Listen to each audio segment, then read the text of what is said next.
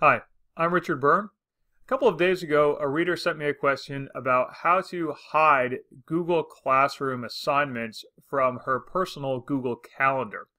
And I get this question fairly often. So the way to do this is not in Google Classroom, it's actually in your Google Calendar. So log into your Google Calendar account, and on the left-hand side, you should see a list of My Calendars. And that menu might be collapsed. If it is, just open it back up and you'll see a listing that corresponds to all of your Google classrooms. In this case, I have my demo class for 2019, my December 2019 demo, and you can see here there's an assignment due tomorrow.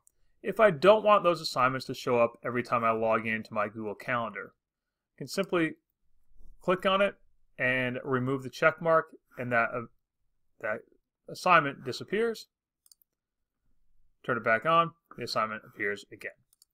So that's how you can hide Google Classroom assignments from your personal Google Calendar.